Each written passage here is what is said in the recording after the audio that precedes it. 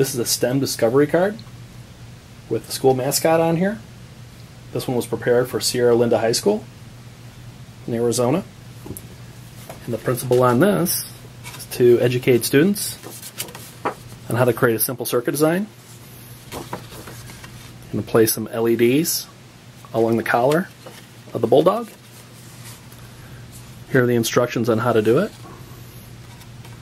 It uses this flexible copper tape to put the pads down and the thin copper tape to trace the copper pads to a battery. It goes from this to this. It's all lit up.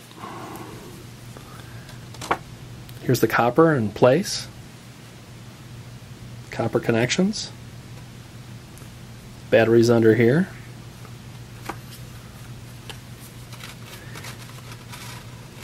And it's a fun way for your students to show some school spirit and learn about electronics in the process.